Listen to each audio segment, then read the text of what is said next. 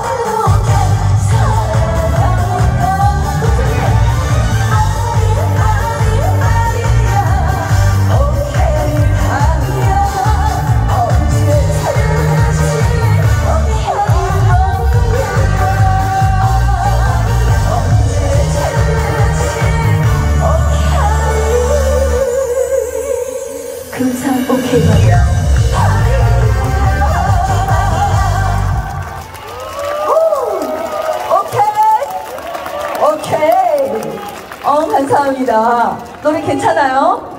아, 그럼 배우 오승은 님도 다음에 금산에 오실 기회가 되면 이 노래 금산에서 먼저 부른 걸 정말 영광으로 생각할 것 같습니다. 두 번째, 이제 세 번째 곡을 이제 들려드려야 되는데요. 세 번째 곡은요. 동치미에 나오는 혹시 최홍림 씨 아실까요? 아, 그분이 가수로 데뷔하셨어요. 제가 데뷔시켰습니다. 첫 번째 곡 아끼지 마를 했는데 두 번째 곡 가수해도 되겠다라는 노래를 저한테 받아서 가요 무대도 나오고 이리저리 예능에서 많이 활동하고 있습니다. 오늘 최홍림 씨가 오고 싶었지만 바빠서 못 오시는 관계로 제가 가수해도 되겠다라는 노래를 세 번째 곡으로 이어드릴까 하는데 여러분 이 노래도 히트 칠 것 같은지 안뜰안뜰 것 같은지 여러분들 박수를 달렸습니다. 우리 어렸을 때요. 어 우리 친구 있잖아요. 우리 친구 어른 이렇게 어머 동요 따라 부르고 오늘 이렇게 트로트 이렇게 부르는데 노래 잘하시면은 아버지 뭐라고 하세요? 최고야. 가수 해도 되겠다. 가수 안 시키고 싶으세요? 그치 오케이죠 오케이 말이. 네? 아버지 아니야. 네? 뭐라고? 아버지 아니라고. 아, 네. 가수해도 되게 아버지가 아니라고요. 저는 하도 젊으셔가지고 아버지인 줄 알았는데, 네. 그래도 좀 닮으신 것 같은데, 어떻게. 네. 아, 가수도 될 것 같아요. 네, 오케이죠. 가수도 될 것 같아요. 이모 노래 들어보고 한번 좋은지 박수 많이 쳐주세요. 세 번째 노래, 가수여도 되겠다. 들려드리겠습니다.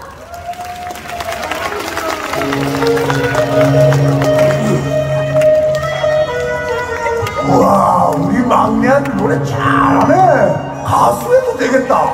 여러분도 가수해도 되겠다.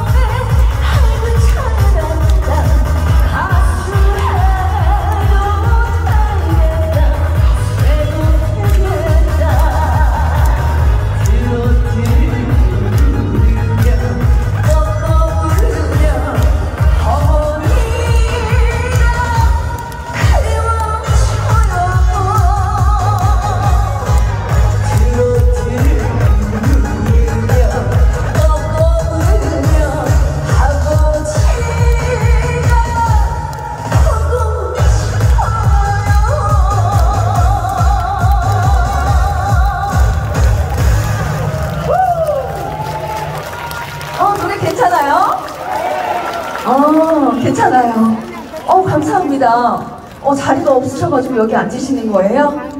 아, 그래요. 저 가까이서 보이려고. 아, 그렇구나. 알겠습니다. 어, 열심히 활동하고 있고요. 내년에도 정말 금산 인산 축제가 정말 세계적인 축제잖아요. 또 사고 싶습니다. 여러분, 한수영 또 불러주실 거죠? 네. 한마디만 더 해야겠어요. 여러분!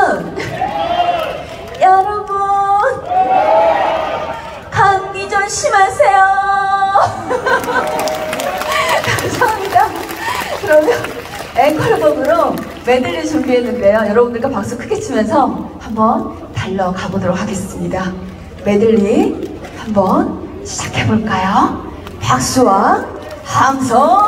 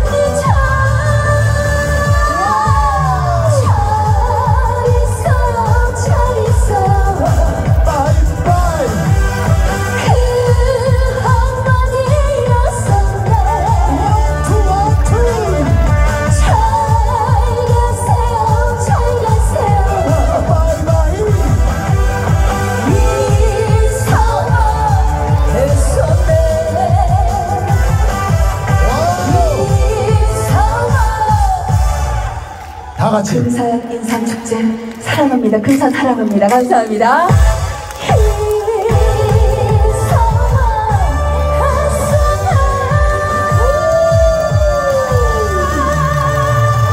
여러분, 다시 한번 큰 박수 부탁드리겠습니다.